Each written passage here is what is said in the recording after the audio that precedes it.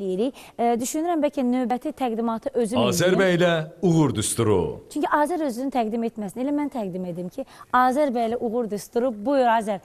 Xoş gəlib səfa gətirmisən. Yandırdı şövqün ey firam, hardasan? Gözlərim nuru iki aləmdə varım, hardasan? Bağrımı qan eylədi acı fərağım, gəl yetiş. Ey şəkərləb, yarı şirin ruzigarım, hardasan? Sabahın xeyir. Sabahın xeyir Azər. Artıq alışmışıq səni şeirlə qarşılamağa. Düşünürəm ki, bu adət-ənənəni pozmayacaqsan. Daimi olaraq bizi elə şeirlə qarşılayacaqsan. Olacaq. Bu dəfə uğur düsturu kimdəndir? Bu dəfə Uğur Düsturu bizim çox sevimli bəstəkarımız Elçin İmanovdandır. Olduqca gözəl bir söhbət oldu. Həqiqətən də mən istəyirəm ki, tamaşaçılarımız da izləsin, bəyənəcəklər. Gəlin onda birlikdə Azərin təqdimatında uğur düsturunu izləyək. Əminəm ki, siz də feyziyab olacaqsınız.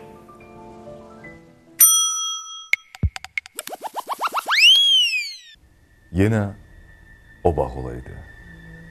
Yenə yığışaraq siz o bağa köçəydiniz.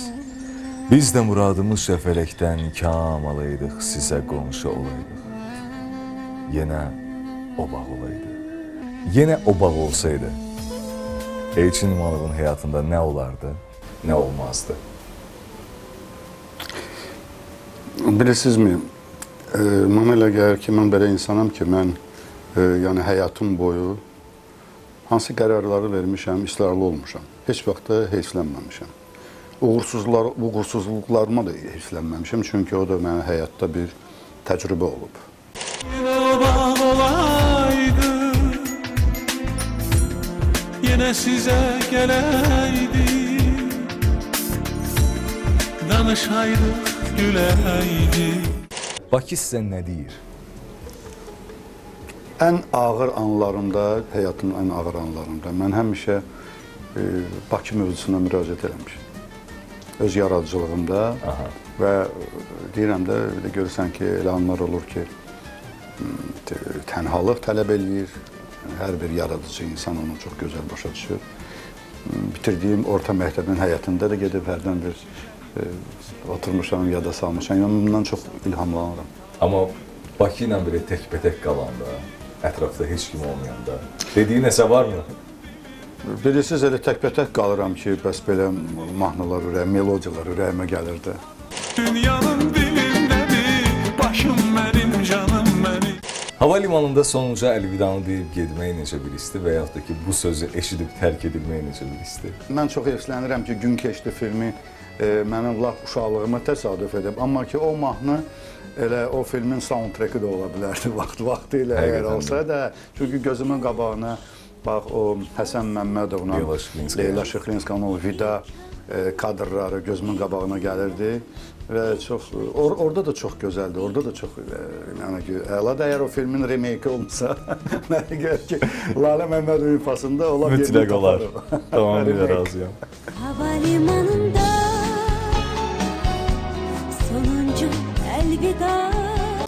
Elçin İmanov bəstələri ümumiyyətlə hisslərdən yaranır ya peşəkarlıqdan? Hisslərdən. Bilirik ki, sənətin pik nöqtəsi yoxdur. Ən böyük uğurunuzun hansı hesab edirsiniz? Yəni birinci addımım Eyyub Yaqubovla oldu. Aha. Mikail Müşfiqin Ana dedim şeirinə bəstəm. Ana dedim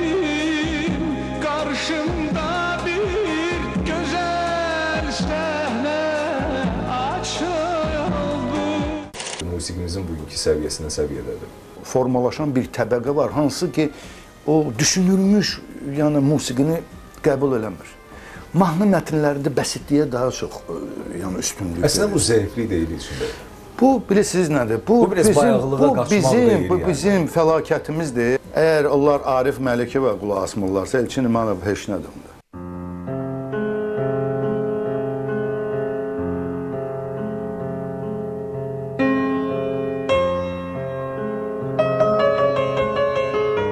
Elçin İmanovu nə yorur?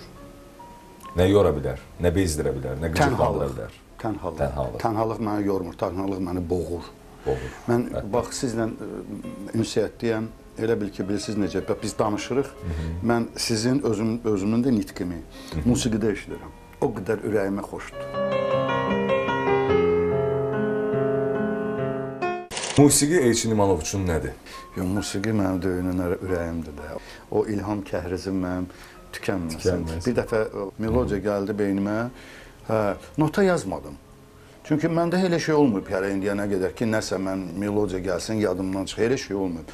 Bu anda xala oğlu zəng elədi, gedirik futbol oynamağa. Mən də bu indi o sualı mən gözləyirəm, hə musiqidən başqa. Hə dedim, hə davay mən futbol, həm azarkeşiyəm, həm oynamağı sevirəm, mən də gözümüz görürsüz formadayam da. Maşallah. hə, idman, bir də sağlam həyat. Sağlam. Sağlam həyat, bir də idman hə. Getdi, idmandan qayıtdım, heç nə yadıma düşmür. Anam hiss elədi ki, nəsə mənə nəsə narahat edir. Qayıtdı ki, nə olub, evdə bir şey dedim, yox, e, bir dənə melodiya idi, nota yazmamışam.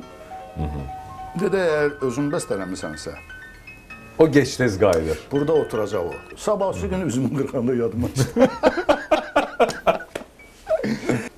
Sizə ümumiyyətlə istər həyatda, istərsə də musiqi aləmində, sənətdə kim dəstək olub və yaxud da ki, nə dəstək olub? Musiqidə, həyatda ümumiyyətlə çox dəstək olub mənə anam. Dostum, qardaşım, yəni böyük sənətkar Eldar Mansurov mənə həmişə dəstək olub. Müsahibin kino rejissorlarımıza nə demək istəyir? Özümü tutub bizim Azərbaycan rejissoruna deyirəm ki, rejissoruna deyirəm ki, şimdi mənim kimi tipajları da var, çəkin də, istedad batır. Mən deyərəm ki, Azərbaycanın Ben Kingslisi. Hətta elə deyərdim. Dünyanın dilindedir Başım benim canım benim Çaykovskini soruşmuram. Hə. Amma Ağabalı Çaykovski kimdir?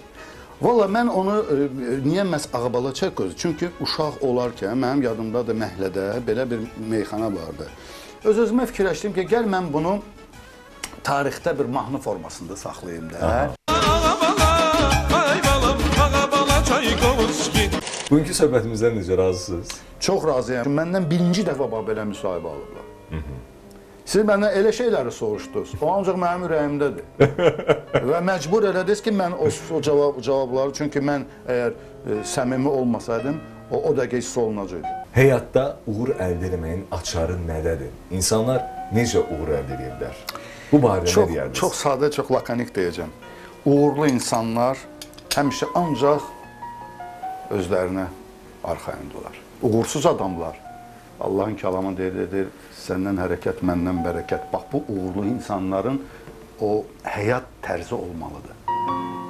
Xoşladığım bir gecə, aylar göylər işıqlı, ay bir sərxoş göz kimi, ulduzlar yaraşıqlı. Bunları seyr edərkən, biraz fikrə gedərkən, fikrim, hissim, xəyalım o qədər yüksəldi ki, mənə elə gəldi ki, bizlərdən əvvəl nə yer, nə göy, nə həyat olmuş, nə uçsuz bucaqsız gözəl kainat olmuş.